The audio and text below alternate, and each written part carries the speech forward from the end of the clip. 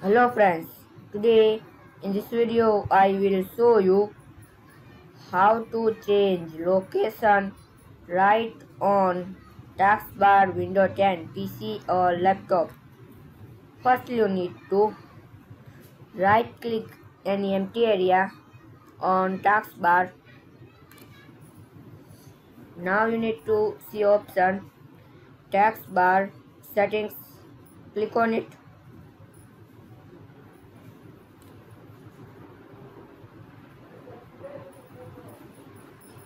now you see this uh, option taskbar location on screen.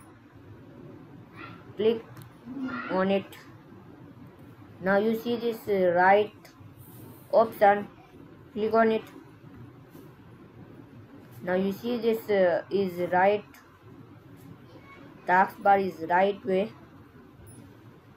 You see? So this way we can how to change location right on taskbar window 10 pc or laptop. Thanks for watching